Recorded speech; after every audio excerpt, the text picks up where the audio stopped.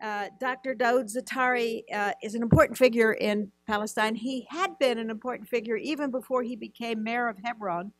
He was the uh, president of the city's Polytechnical University, which those of you who know Hebron know that it's a first-rate school, engineering school. He's a distinguished uh, researcher in telemedicine and uh, biomedical engineering. In 2012, and many of you already know this too, he found a way to give back to his community by becoming mayor of the largest city uh, in the West Bank. And it's not an easy job because in 1997, uh, an agreement between Israel and the Palestinian Authority, Hebron was divided, and settlers were allowed to live in the heart of Hebron. And this, of course, if you're administering a city, if you're mayor, uh, presents enormous challenges. And I'm very much looking forward to what uh, Mayor Zatari will tell us about some of the difficulties that he's facing, challenges he's facing, and successes and opportunities for the future uh, as he shines a spotlight on this largest city in, in the West Bank. So, uh, Dr. Zatari, welcome. And uh, please, the, uh, the podium is yours. You, uh, Dr. Zatari wants to give a, few remarks for about 20 minutes or so, and we'll show a a, a video, and then we'll open it up for questions. Thank you.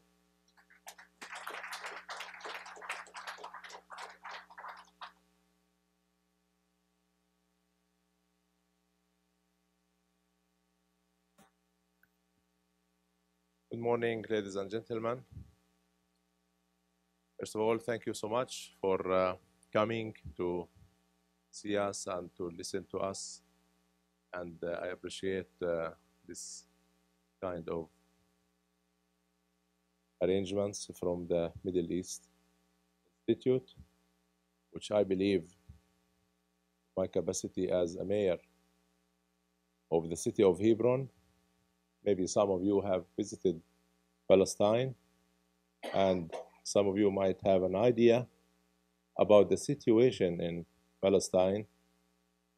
Uh, just want to share some some thoughts with you all, and maybe we can have some discussion or some questions, uh, exchange of ideas and thoughts about the situation that is really going on, and what's really the future of the conflict, because we have so many things now on the ground whether in at the political level or at the economical level or what's really going on in the reality and the behavior of the Israeli government and the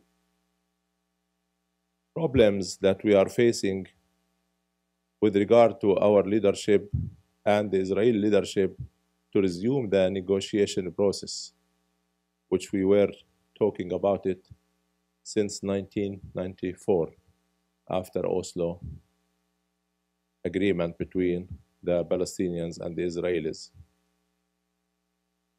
Uh, when Oslo took place, we before Oslo we had we went through a very rough time in Palestine, facing the existing situation in the West Bank and also in Gaza. And we have lost many lives. We have thousands of people were captured in and put in jails and in military detentions. Some people faced huge uh, damages in we, we, we faced a huge damage in the, in the economy and also we received and we actually had several homes were destroyed and damages by the Israeli military and Israeli occupation. However, we got some hope in 1994 and we thought that we can wait. We waited since 1948 until passed through 1967, and we came to 1994 when our ex-president, Mr. Arafat, agreed with the Israelis that within nine, within five years, from 94 till 99, we really should have a Palestinian state on the basis of two-state solutions and also to have the final and close to close the situation after five years. But the, unfortunately, the five years gone, 22 years now gone, and what happened and what you have seen maybe on the media and on the ground, the people since the end of September, young generation, I'm talking about young boys and girls who were born after 1994. I'm not talking about a generation of my age. I'm talking a generation, young generation. University students, school boys and girls, they, they found out that they are stuck. They, we entered into a tunnel of negotiations with the Israelis, and we found out that we are in a very dark tunnel. Even there is no signs or hope to see the light and to exit of the tunnel. And the situation remains as is until today. That's why the incidents that happened in Jerusalem and in the city of Hebron, my city, and also spread it to Ramallah, spread it to all over the West Bank. That was just an expression of anger in my capacity as a mayor. I say, I disagree with anybody who says this is intifada or this is uprising, third uprising or whatsoever, because none of the political stream is really behind this or behind what happened since the last couple of months. But the people, the young generation, they are saying to our leadership and also sending messages to the Israelis, enough is enough. We are fed up. We have no future. We have no jobs. We have thousands of our young graduates from universities are unemployed. Our economy despite the fact that sometimes the World Bank in the last couple of years, they showed some indexes and figures that the Palestinian economy is recovering. Soon after a year or two years, they out, they came out with different figures and different conclusions. We are surviving, but we are not improving in our economy. We are not able to find jobs for our people. I'm talking to you.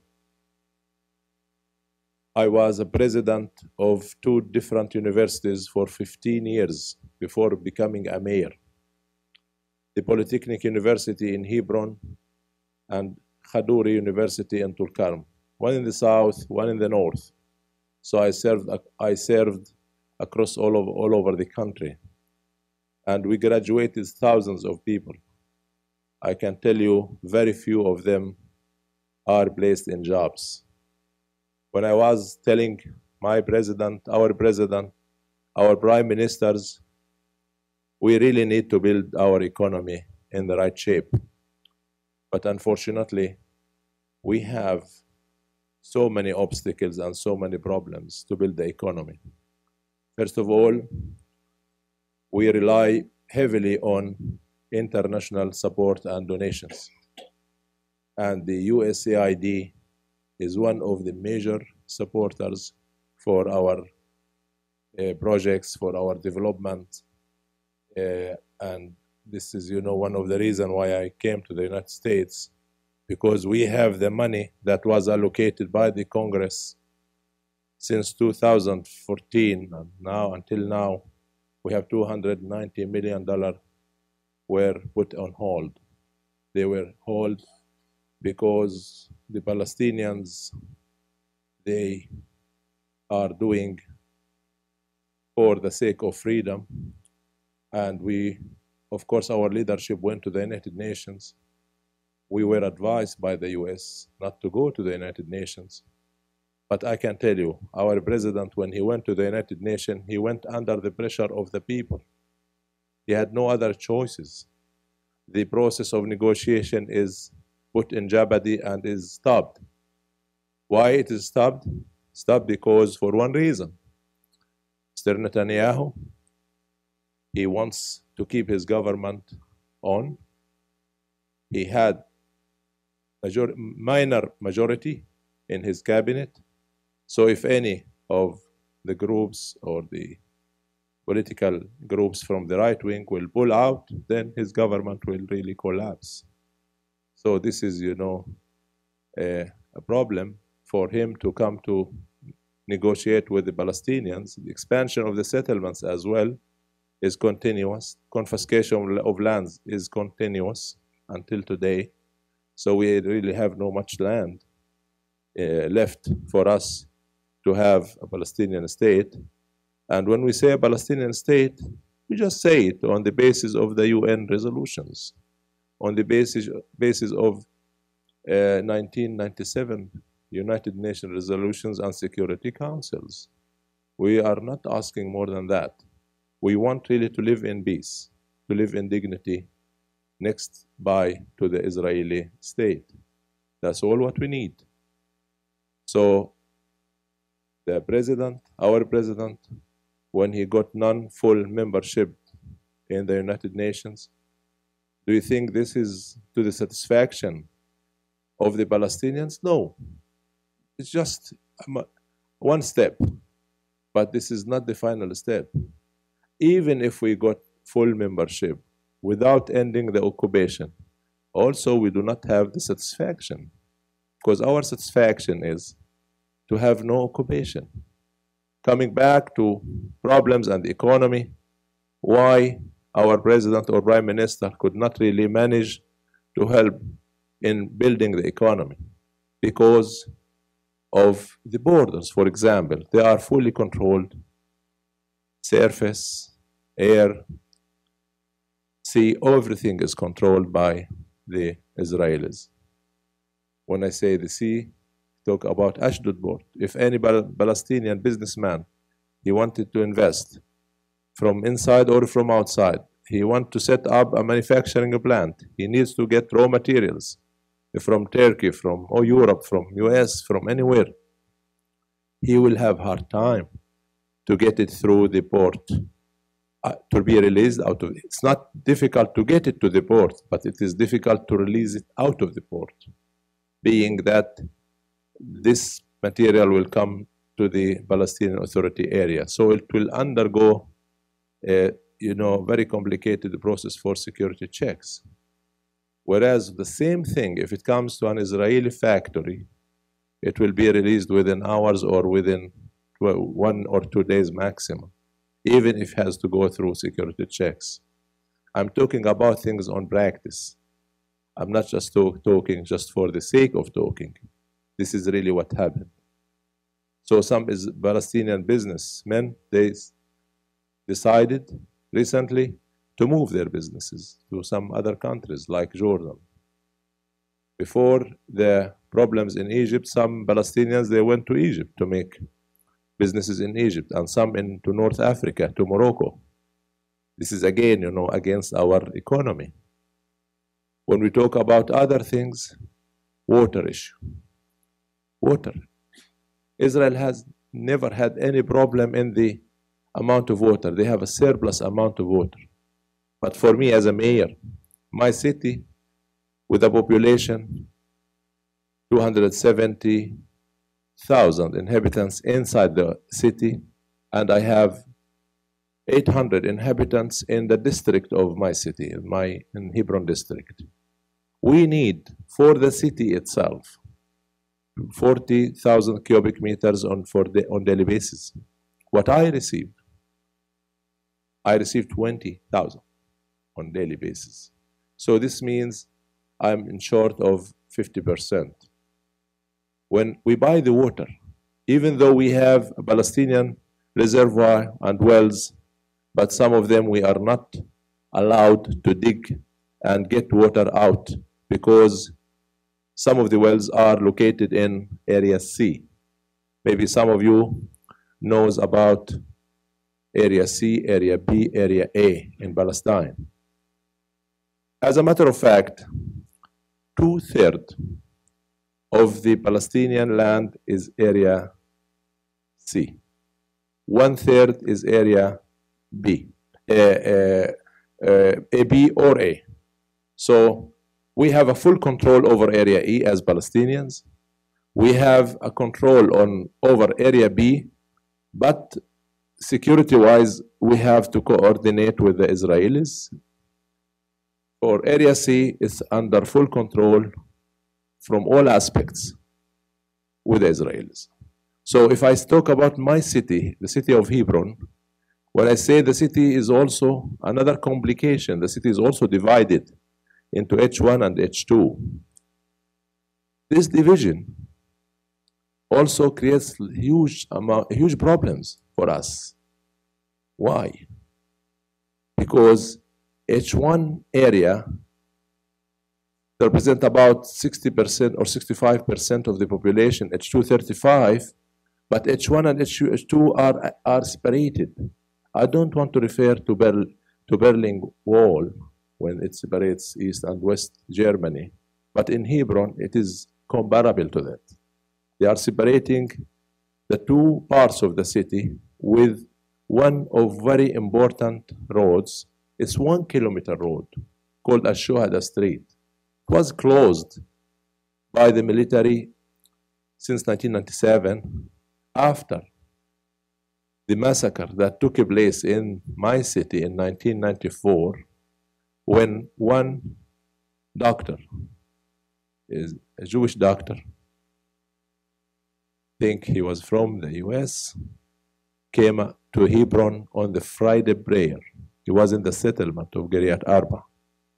He committed suicide, killed about 29 persons who were doing their Friday prayer in the morning in the Al Ibrahim Mosque. Same day, also injured about 100, over 100 persons, close to 150 in total. As a result of that, because the Ibrahim Mosque is under the Israeli security control, so they make and they made formation of a committee of investigation group.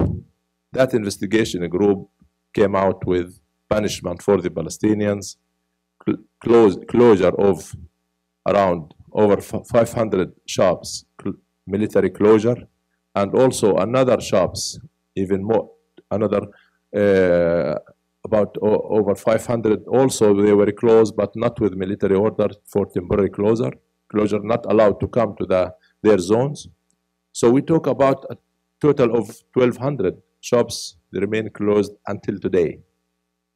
Also they took over the old vegetable market the bus station. Al-shuhada street is closed. The old city and the surroundings of the old city, six spots they were placed with about 400 to 450 Israeli settlers residing or is it, uh, uh, living inside the old city and placing for them near to the Palestinian people and they took over some Palestinian people homes. So, however, those 400 closure of the, the, the, the street really changed the lives of, the, of my, my, my citizens in my city. And instead of moving from north to south, from H1 to H2, instead of moving in five minutes, I have to travel in my car 35 minutes to go to find alternative routes from the east side or from the west side. That's also another example of the damage of our economy my losses and my capacity as a mayor, I submitted just two months ago a report to my prime minister. I told him, here is my losses taxes that I supposed to collect from people. Should their homes or their uh, places are not closed places properties that are under mili- military or settlement control I lost as a municipality 1 milliard shekel about 1 milliard shekel when we say shekel to dollar it's 4 shekels equivalent to 1 dollar something like that so this is just the municipality losses. What about the people losses? Uh, that's uh, that really makes more difficulty for building our economy. Despite the fact that Hebron, who for those who visited Hebron, Hebron is the most important city in terms of industry. It's industrial city, business city, commercial city. We have really, you know, our economy, the, the PA economy, uh, heavily relies, about 40, 45% relies on the Hebron city economy and industry. But even though we have lots of difficulties to provide water to our people, because when I say, when I talked about water, we have shortages of water. So sometimes I am, I left that I'm unable to provide those people who want to invest. They need electricity, they need water, they need all the infrastructural means to make their businesses successful. Sometimes I feel I cannot really do that for them. Now we managed to solve the the temporarily we managed to solve the issue of the of water because the USAID thanks for them thanks for the US government thanks for the US taxpayers and I'm sure thanks for all of you you are taxpayers myself was a taxpayer when I was living in the United States in the 90s, and I got my education from the States in the 90s. So thanks for every American who really helped the Palestinians uh, to promote the economic development and to promote some projects for the municipalities, for the local authorities. I assure you 100% that your money is really spent in the right way, in the right direction. And this is one of the reasons of my coming myself and with my colleague, the Mr. Basil Herbawi. He is the chairman of the Chamber of Commerce in my city. So we are coming to, first of all, to thank the American people for, for their contribution to help us through the USAID agency. And secondly, we want really to urge you and to urge your institute here and to urge everybody in his capacity really to help us to do your contacts or to your talks or your writing to your senators, to your congress people, congress representatives, really to help us to release the money that was held. Uh, because the money, I say to you, it goes to the people improvement of life. It will, will help in improving the life of the citizens.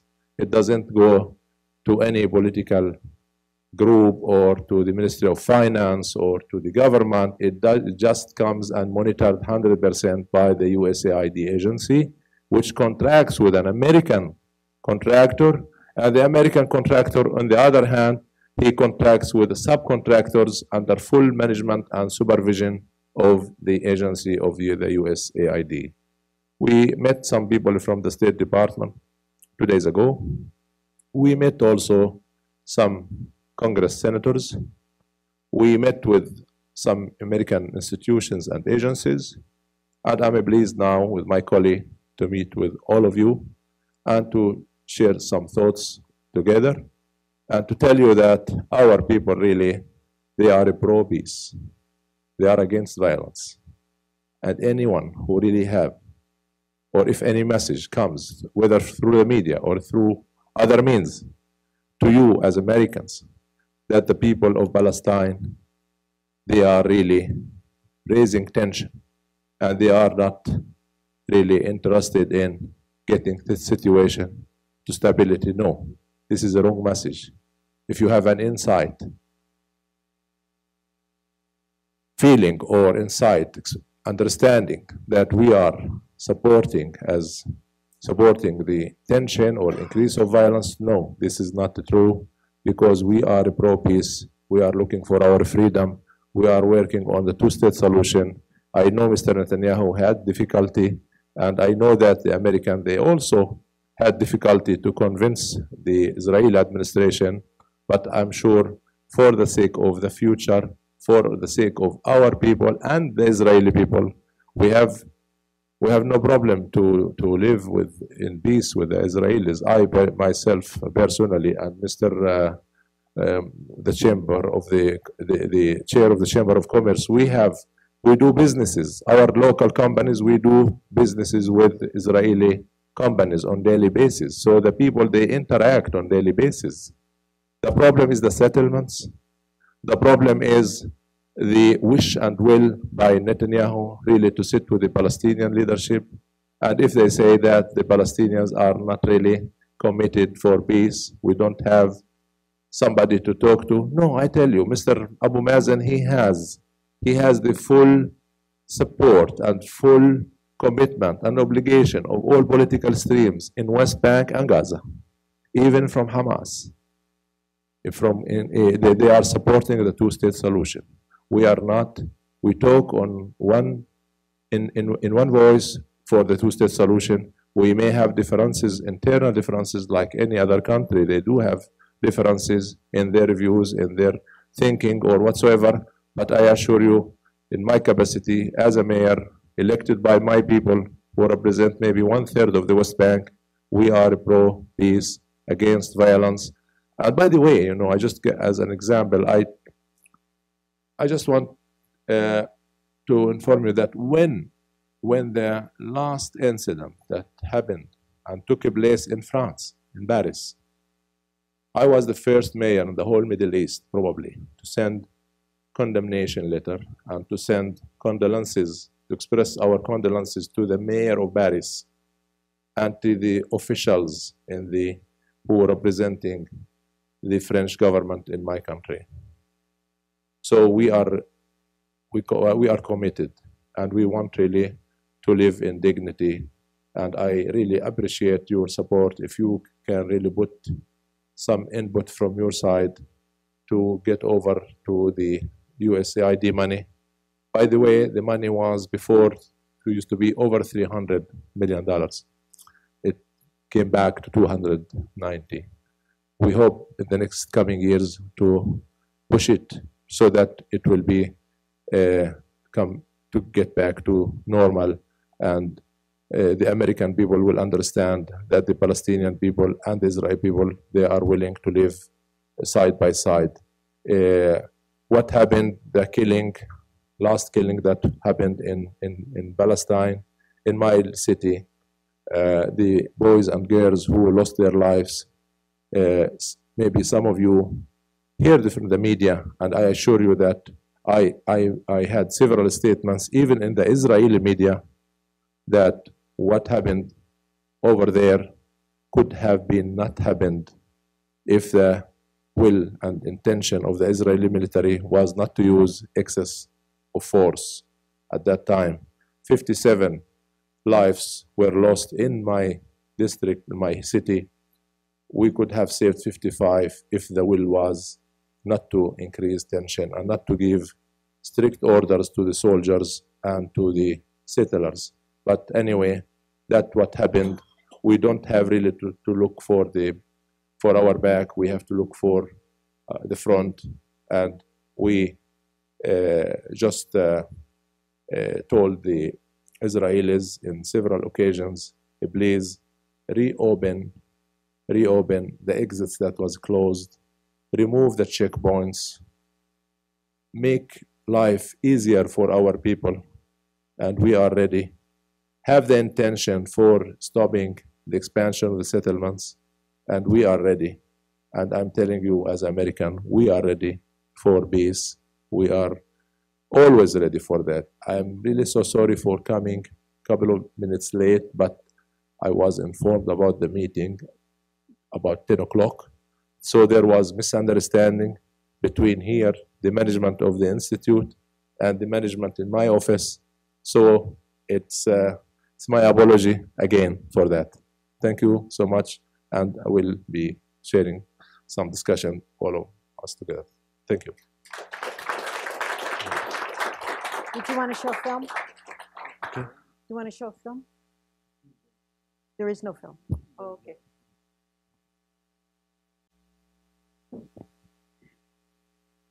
Ah, Okay. Would you like to sit in the chair or Okay. answer questions? No, it's okay. No problem. I can.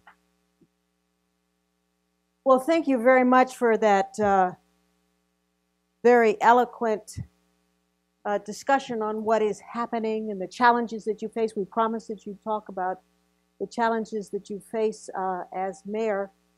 It's grim. It's not easy. I'm. My first question before I turn it over to the audience is about the future. You know, you live in a very, very difficult neighborhood. The entire Middle East is in turmoil. Uh, many analysts are saying that uh, what is happening in the Middle East is a, uh, a revolution of sorts, a slow boil revolution where the people are beginning to uh, re-examine and redefine their relationships with the uh, with their rulers, with their governments, uh, the social compact, political compact that has existed for decades is being challenged by the youth by a demographic that is now the majority in many countries, I believe in the West Bank as well. Uh, you talk about uh, the young people who have no hope, have no jobs, uh, who are saying enough is enough. How do you see the future? What are these youth going to do? Uh, is you know worst case scenario, uh, they uh, begin to see some some interest in Daesh as other youth in other countries have. I mean, Palestine has been a bit spared of that. Uh, or, or are the youth going to leave? And if they're going to leave, where are they going to go? Uh, or are they going to turn against uh, government leaders? What's going to happen after uh, Abu Mazen leaves? A lot of questions about the future. Uh, if you could just share, share your thoughts. Okay, thank you. Um, I don't know if my voice is here. For Yeah, no, it's everybody. If working. you want me, I can use the. No, it's working. Okay. Uh, thank you for uh, this uh, raising this uh, question. It's very important. What's next? What we're gonna have for the future for our young generation? Uh, yes, I agree with you. First of all, the young generation, by the fact that they are losing hope and the optimism is now declining day after day, particularly after with the existence of a Likud uh, government or a government from the right wing. Uh, but what really going to happen? First of all, the Palestinian Authority security they have very important role. We don't want really to have things like what is happening in some regional countries, Daesh or other things. No, we have they have no they have no room in in in, in uh, Palestine, and there is very important role the PA are doing regarding the security issue, internal security issue. But we have limited control over security, so we cannot really grant this for the future because if I don't have security control over two thirds of the land, what you should not really have more expectation. You should not raise up your expectation of control from the Palestinians because they don't have the full land to control. That's one thing. The other thing, I give you an example for those boys and girls. Some of them really thought, why we have to go to school? Why we have to spend thousands of dollars or shekels and dinars, and then after that we have no jobs. But no, we in the in our capacity in institutions, mayors, the Palestinian Authority government, we push for education, we push for improving health, because we believe if we are not going to have conflict, so solution for the conflict at this time, we have really to build ourselves internally. We have really to build our institutions. We have to educate our people to provide better economy. That's why, you know, I am stressing on the USAID money that should really come to us in eh, as soon as possible because this will reduce, this will give some hope to the youth, to the, the young people and the youth people. It will give them some hope because they will have some jobs.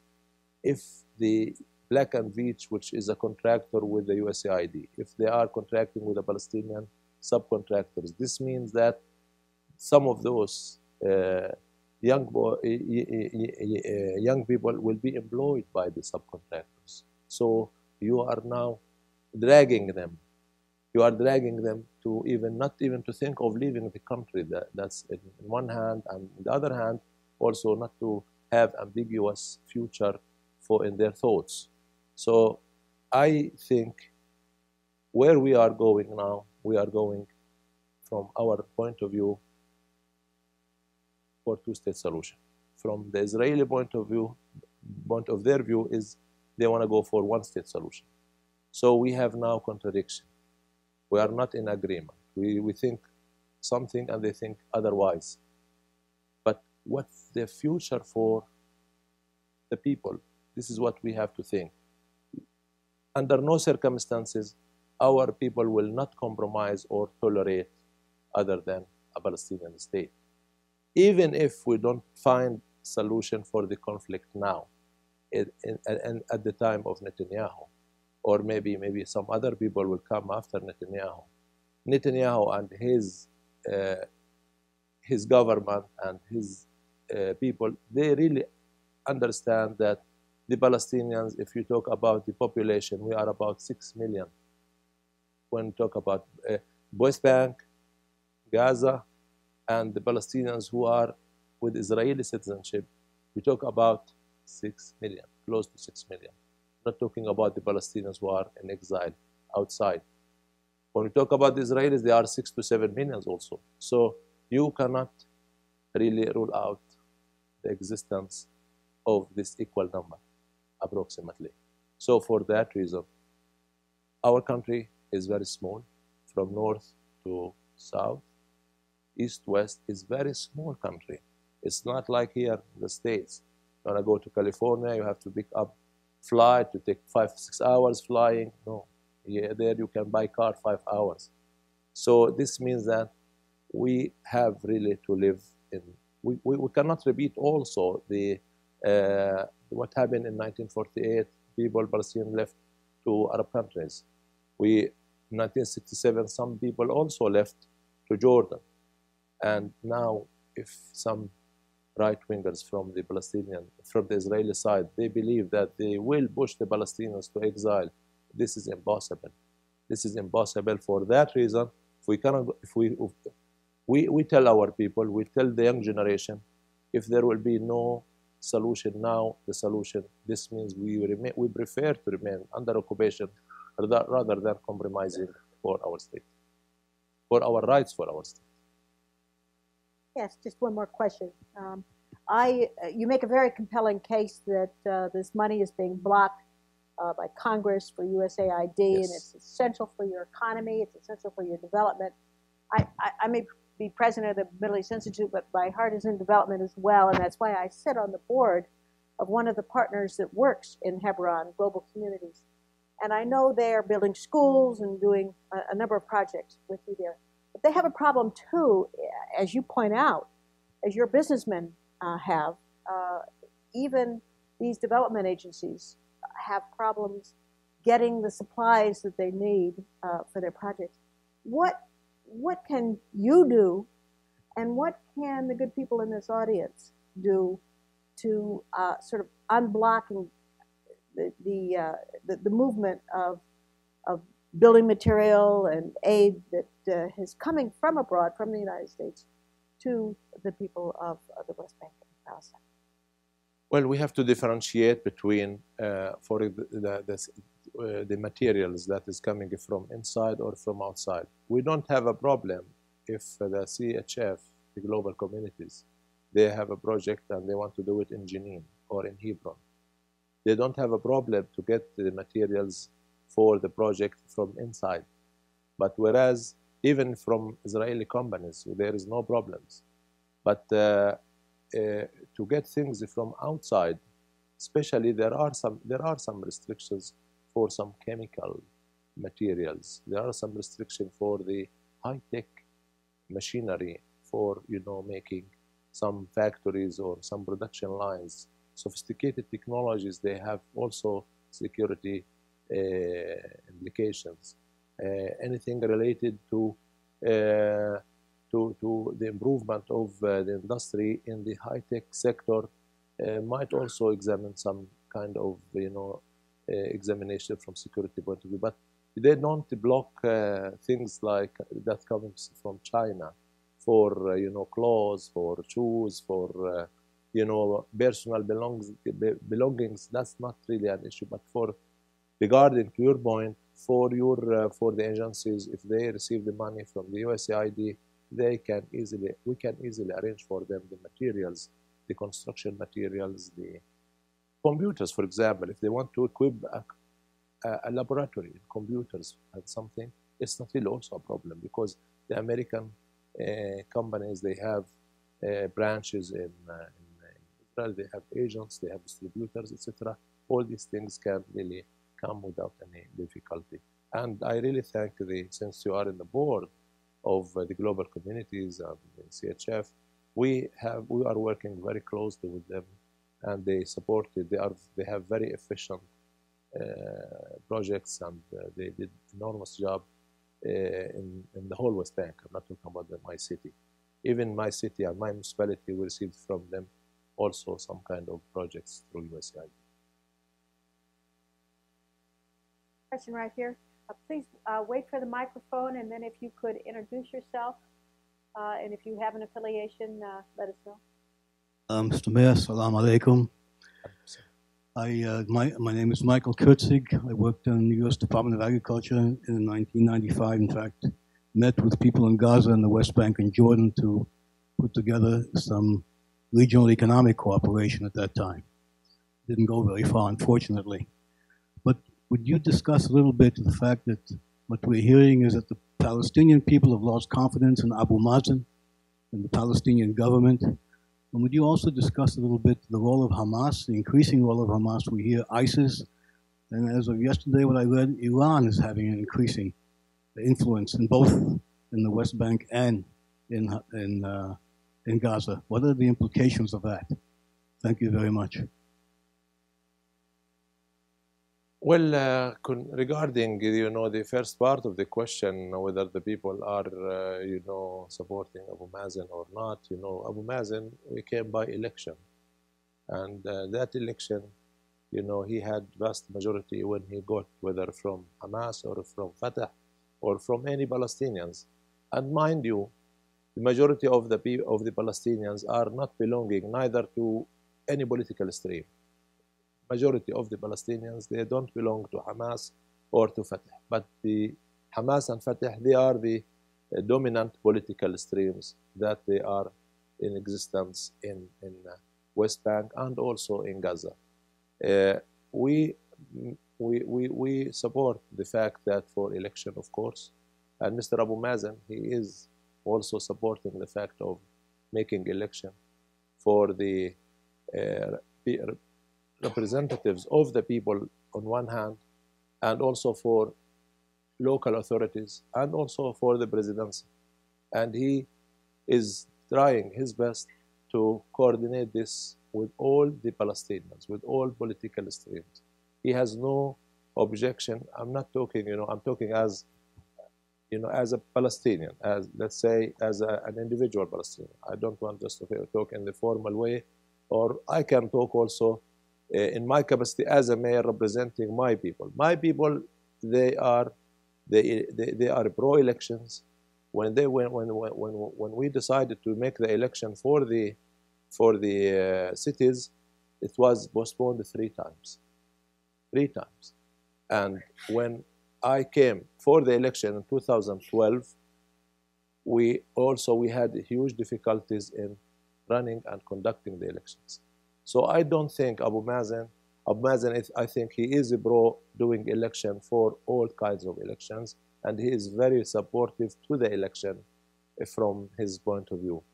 Uh, but he wants to coordinate this with the people also in Gaza because we try our best to make unification. Uh, we try to, to, and the people in Gaza also, uh, some of them they want, of course, and uh, you know, uh, you know, the matter is so complicated now because, to be honest with you, from political point of view, we have also regional interferences in, in, in which is not, of course, against our wish or our will, but anyway, we are not living in an isolated world. You know, now the political co complication all over the world is uh, not so easy to cope with and to deal with. So we are pro-election. Even the president is pro-election. He is he, he is supported from the vast majority of the Palestinians even until today. Uh, he did very good, you know, job in, uh, in, in, at the political level, international wise. He put the Palestinian uh, on the map even uh, when we when when we went to the United Nations and we got the non-full membership agreement. 138 countries were in support for uh, the Palestinians. But that is not enough, as I mentioned in my talk. You know, when we come back to the influences here or there, I tell you, no, this is there is no room for influences. In, in, in West Bank, uh, the the Palestinian Authority is and uh, it, it is uh, running you know the West Bank and in Gaza the the also the Hamas is have some control over there or or the, the control and in the West Bank we have the control of the Palestinian Authority which which have all the political stream. We don't say in the West Bank we have only Fatah is controlling. No, it's it's a system.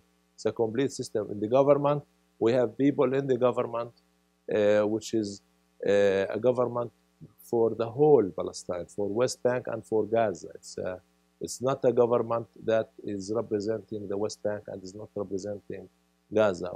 And maybe you have seen, you know, the, the, our, uh, the problem is the performance now of the government subject to the international complication and the international you know, dead end of from the progress of negotiations with the Israelis, that's put everyone in the government in a very, very big challenge. Whether, whether the, uh, whether the government is, uh, you know, even if the government is rechanged, and we changed some many governments in uh, in, in the last couple of years, but it is not easy job. It's very, very complicated job, and I assure you that the Palestinians they are pro their president until the election will take place and whoever comes, it doesn't really matter.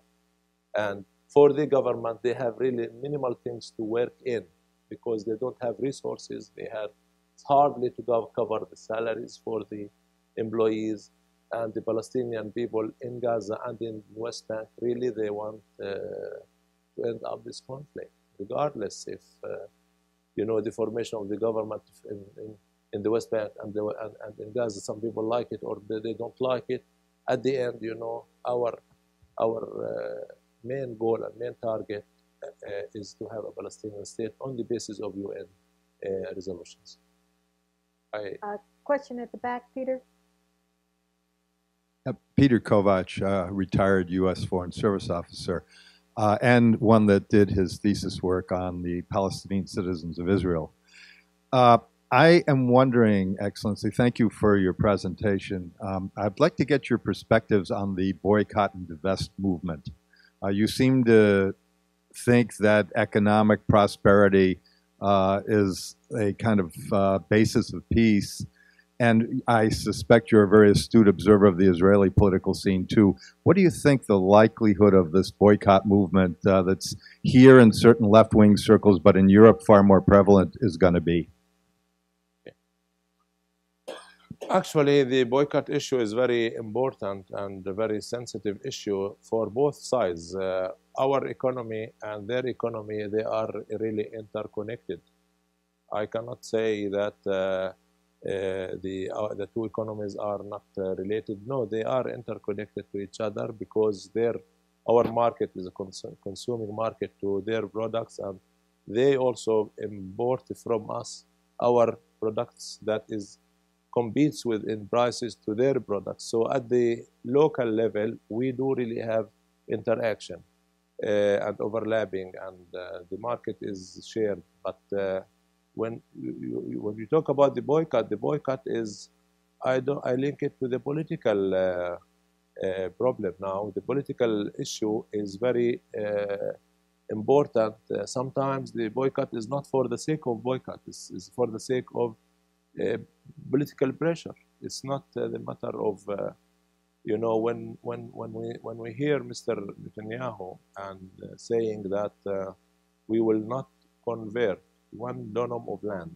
or one yeah one dönum is 1000 meters you know square meter you know uh, we will not convert it from area C to become area B under the Palestinian control this makes more you know challenge this makes like uh, uh, like uh, that uh, this makes more pressure on the Palestinian leadership to face their people so this makes also lots of tension because we are looking for our, our economy and our development and to convert areas from C to B. And when the Prime Minister says no, this as this he is putting lots of obstacles on ourselves as leaders and on our leadership, the government, the, the president, etc. So we have also uh, the the uh, from the boycott from the academic point of view, this was not uh, raised this year or in the last couple of months. This was about 15 years ago raised at the academic level. And when I was uh, in the Council of Higher Education, uh, the first people to raise the issue of boycott were from France, from Europe, from UK, from uh, even from America here. Some academic institutions, they were coming and observing and seeing what the institutions in Palestine doing, what the institutions in Israel are doing. If there will be a conference in uh, Tel Aviv, for example, the professors in Palestine would not be able to go and participate in the conference because they need to have a permit. Uh, when we had, you know, the, the, the attacks uh, and arrests and the closures of universities in the West Bank, we did not see any professor from the Israeli institutions condemning the Israeli military uh, action because university is independent. University should be respected. When you say the campus of university is, is like, you know, it has its own uh, status, respect. So we did not I was the president of a university that was closed in 2004 for nine months. I didn't receive any letter of support from any Israeli university president to say, to send to his uh, government, we condemn such, such actions. Other, other than that, the mobility of people from universities to attend, you know, lectures or to attend conferences, whether inside or outside, is very limited, subject to getting permissions from the Israelis. So that was the idea of the boycott came long time ago, not recently. But I can assure you that once peace will be really uh, resumed and things will move to the to, on, on the basis of equal rights and uh, on the basis of acknowledging the rights of the Palestinians to have their status recognized there will be no room to talk about boycotts. Question here.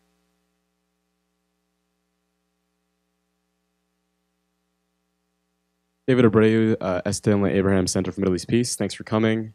Just a question. Uh, you said that this is not an intifada because the political stream is not participating in the violence. Wanted to know if you can comment on the Palestinian media that a lot of people have been criticizing is inspiring the younger generation to commit violence? Thank you. Not get his last. Uh, what, what is exactly your point, the question? Yes.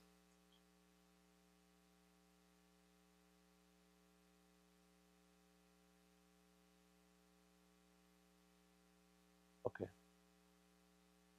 The, the, the, the media is, is uh, poking the young people to that violence. Yeah, yeah, yeah, yeah. I, I understand his point, but I'm uh, trying to to to figure out, you know, exactly the uh, what he meant by raising this point. Actually, the local media, our local media, yes, uh, maybe they have uh, exposing, you know, so many pictures, uh, which might this might, uh, according to the interpretation of some Israelis and some politicians, that this might uh, make uh, more, uh, you know, tension and might make you know people to think for increasing the tension.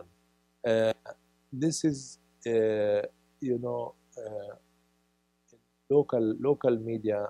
They were just translating or transferring the accidents that that took place when, for example, in Al Shuhada Street. I give you an example. This is, you know, might reflect to other uh, cases, and that's maybe can give you a picture why the media is doing that. When the one of the boys, about 20 years old, 18 years old, is working in painting from Khawasmi family. He was bypassing Al Shuhada Street. Not he's not allowed to go through Al Street, but, but he was from the beginning of Al Street, passing the checkpoint, and he is going to his work. So he was in that area, his work in that neighborhood. Uh, so he was shot dead by a settler. He was he, he, he never had anything to or any any thinking even. He was going to his work. He did not have a knife. He did not have a weapon or nothing. Uh, so he was shot dead by a settler, and the media, uh, you know, the the, you know, by I don't know how things because uh, happened. You know, one of the media over there because most of the time the media is at the entrance of Al Shuhada Street in most you know cases because we have so many people comes to from international to see Al Shuhada Street. So at that moment, there was a camera from the media, from one of the not local media. I don't, I don't, I don't think it's a local media. Eh, It monitored that the soldier is passing the knife to and put it next by to the body after it was shot dead.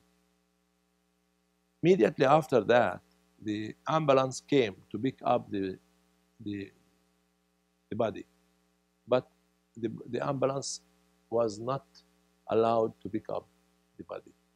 So they kept the body bleeding until the, the, the, the person lost his life.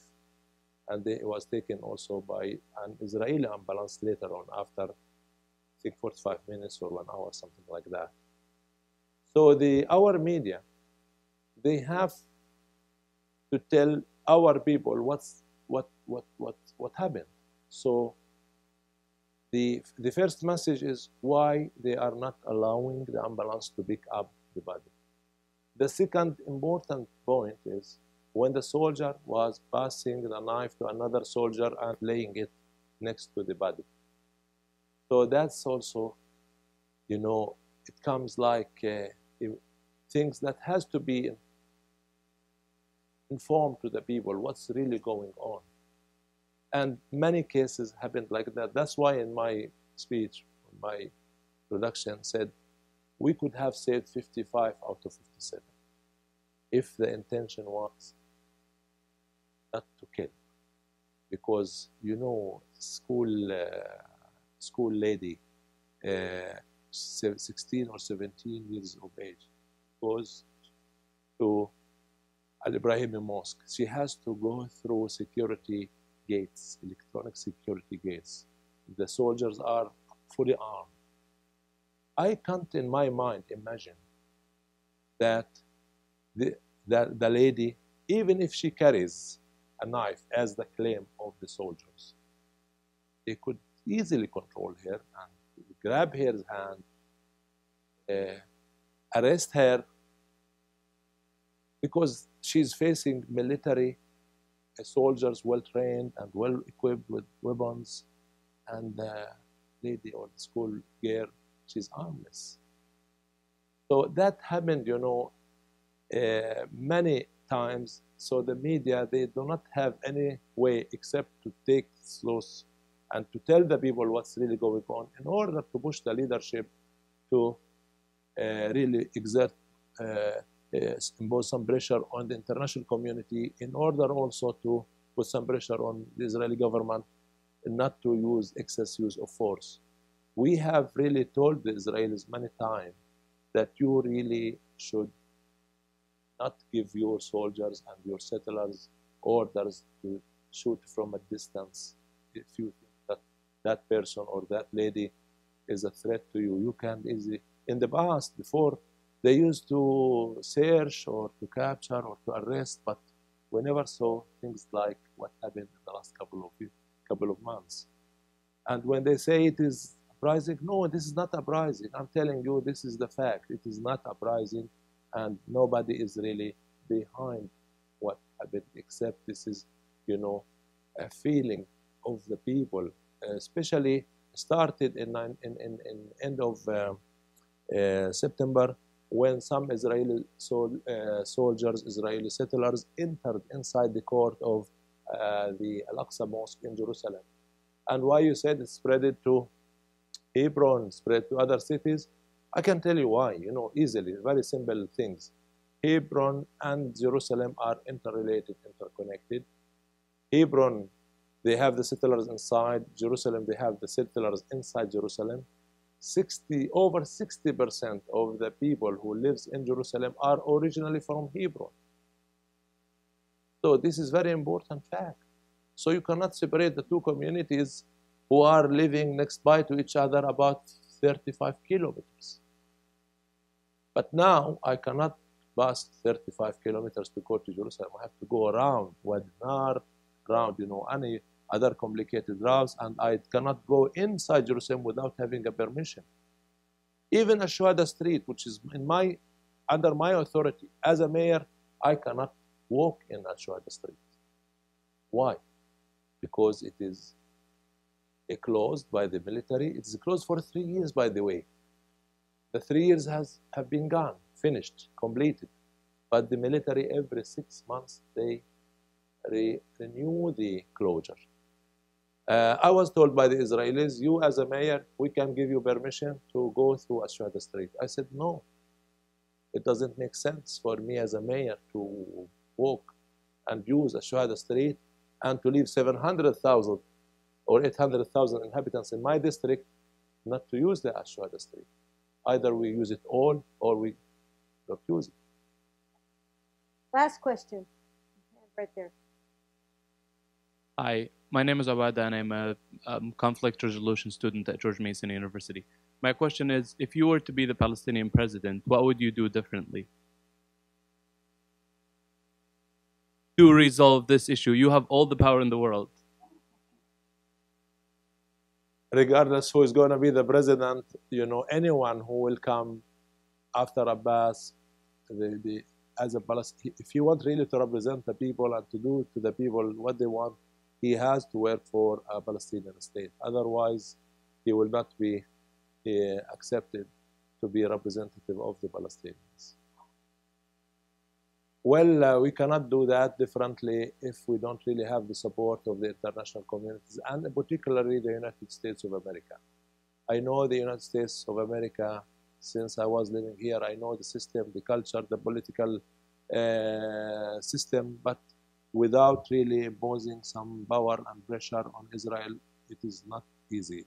We have uh, support of international communities, but it's not uh, enough. We have to get, you know, to convince the American people, to convince their leadership, to convince their senators that we have our rights to live like the Israelis, they have their right also to live. And we respect everybody. Thank you. Well, on that note, thank you very much.